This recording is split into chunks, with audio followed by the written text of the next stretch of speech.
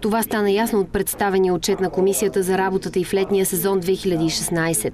От началото на годината на Черноморието са извършени 3072 проверки в туристически обекти и са издадени 131 акта.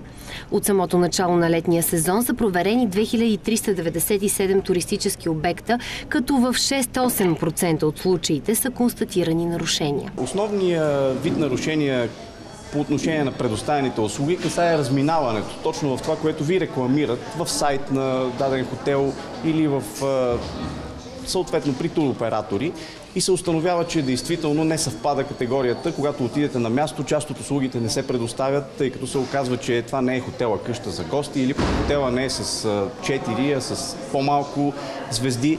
Това нарушение продължава да се среща, макар и по-рядко.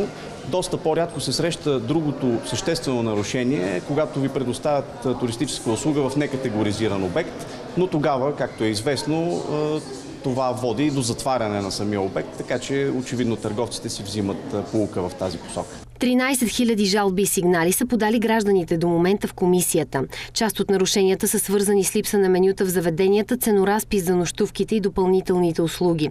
В навечерието на учебната година ще се следи за качеството на раници и всички учебни пособия.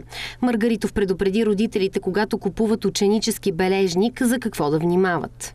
Когато закупуват бележник и лична карта за децата си, върху тях е отбелязана цената. И никой не може да ги задължи да платят по-висока цена, било то защото трябва да се купат и под вързия, било то защото трябва да ги купят в комбинация с някакви други стоки това, което е отбелязано върху цената, върху самия бележник или лична карта, това е максимума, който потребителя може да заплати. Най-често в Комисията за защита на потребителите постъпват жалби срещу мобилните оператори.